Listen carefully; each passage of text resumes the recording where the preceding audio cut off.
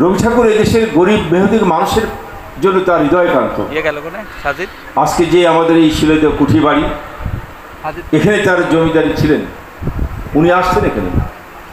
উনিশশো তেরো সালে যখন নোবেল বিজয় লাভ করলেন সেই নোবেলের টাকা দিয়ে উনি কিন্তু এই দেশের দরিদ্র মানুষদের কৃষকদেরকে উনি চাষাবাদের জন্য আর্থিক সহায়তা দিয়েছিলেন। আমরা বাংলাদেশে প্রসংগ্রামে চলে আসে যখন আমাদের সম্ভবত বিপ্লব। একটা কথা বলেছিলেন মাইক্রো ক্রেডিটের কথা বলেছেন।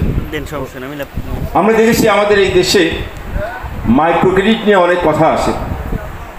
আমাদের দেশের একজন প্রখ্যাত নোবেল বিজয়ী ডক্টর মোহাম্মদ ইউনুস তাকে শান্তির জন্য নোবেল পুরস্কার দেওয়া হয়েছে। আমি এটা নিয়ে অনেকবার অনেক বক্তব্যে বলেছিলাম যে ডক্টর ইউনুস বাংলাদেশের কোন শান্তি প্রতিষ্ঠা করেছেন সেটা বাংলাদেশের মানুষ জানে না। তবে উনি মাইক্রো ক্রেডিটের নামেই এদেশের মানুষের কাছ থেকে রক্ত শোষণ করেছেন সুদ খেয়ে এটা কিন্তু বাংলাদেশের মানুষ জানে। এবং তার এই মাইক্রো ক্রেডিটের এই সুদখোরের কারণে বাংলাদেশে বহু মানুষকে প্রাণ দিতে হয়েছে। আমাদের পার্শ্ববর্তী জেলা ঝিনাইদহে একটি গ্রামে, একটা ইউনিয়নে প্রায় সতেরো জন মানুষ আত্মহত্যা করেছিল মহিলা, পুরুষ সহ।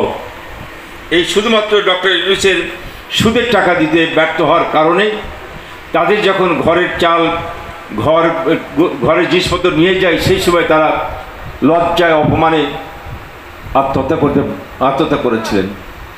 বহু মানুষ নিঃস্ব হয়েছে। সেই ডক্টর ইউনুসকে নোবেল পুরস্কার দেওয়া হয়েছিল।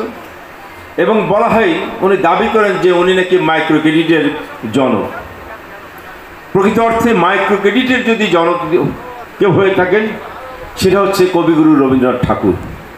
কারণ তিনি তার নোবেল পুরস্কারের অর্থ দিয়েই প্রথম কৃষকদেরকে ক্ষুদ্র ঋণ দিয়েছিলেন। তাদেরকে চাষাবাদ করে তাদের আর্থিক সচ্ছলতা ফিরে আনার জন্য। ডক্টর ইউস প্রথম মাইক্রোইটের প্রবক্তা, এই এই তথ্যটা সম্পূর্ণ ভুল এবং অসত্য। বরং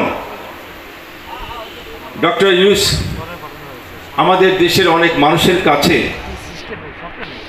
উনি নোবেল বিজয়ী হিসেবে অনেক সম্মানিত ব্যক্তি আমরাও সম্মান করি। কিন্তু এই দেশের মানুষের অর্থ যেমন মাইক্রোইটের মাধ্যমে শোষণ করেছেন ঠিক তেমনি প্রতারণার মাধ্যমে উনি এই দেশের মানুষের অর্থ আত্মসাৎ করেছেন। গ্রামীণ টেলিকম নামে যে কোম্পানিটা খোলা হয়েছিল তার মধ্যে গ্রামীণ টেলিকমের গ্রামীণ ফোনের ছত্রিশ পার্সেন্ট অংশীদার ছিলেন এই গ্রামীণ টেলিকম। এবং কুড়ি হাজার সাধারণ গ্রামের মেয়েদেরকে দিয়ে এই গ্রামীণ টেলিকম কোম্পানিটি খোলা হয়েছিল। আজকে গ্রামীণ ফোন প্রতি বছরে কয়েক হাজার কোটি টাকা প্রফিট করে লাভ করে না। এবং তার সেই লভ্যাংশের ছত্রিশ পার্সেন্ট যদি ধরা হয় তাহলে প্রতি বছর অন্তত এক হাজার কোটি টাকার উপরে লভ্যাংশ। গ্রামীণ টেলিকম পেয়ে থাকে। যেটা এই কুড়ি হাজার যাদের নামে এই কোম্পানি খোলা ছিল সে মহিলা ছিল। আজ অব্দি একজন মহিলাও কিন্তু সেই একটি টাকাও পায় নাই। এই সকল টাকা ডক্টর ইউনুস সুকৌশলে এদেশ থেকে সরিয়ে নিয়েছে। এখন তার বিরুদ্ধে তদন্ত করে দেখা গেল যে প্রতি বছর সে প্রায় বিপুল পরিমাণ ট্যাক্স ফাঁকি দিয়েছে। তার বিরুদ্ধে এগারোশো কোটি টাকার ট্যাক্স ফাঁকি দেওয়ার মামলা পর্যন্ত হয়েছে। এই আমাদের সেই নোবেল বিজয়ী যিনি মানুষের সুখে দুঃখে কখনো পাশে দাঁড়ান নাই, বিপদে আপদে তাকে কখনো মানুষ পায় নাই, বরং উনি এই বাংলাদেশকে নিজের স্বার্থ চরিতার্থ করার জন্য বারবার ব্যবহার করেছেন, বিদেশে বসে দেশের বিরুদ্ধে ষড়যন্ত্র করেছেন।